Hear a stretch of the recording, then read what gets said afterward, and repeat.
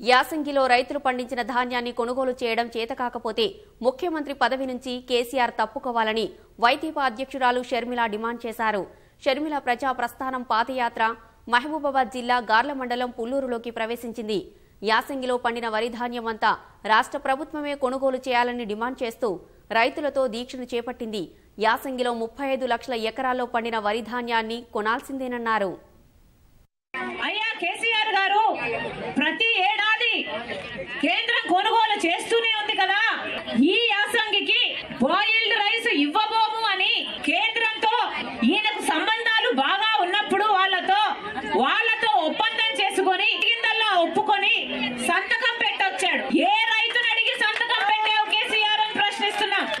ఈ రోజు రైతుల పాలిట మరణ శాసనం అయింది ఒడ్ల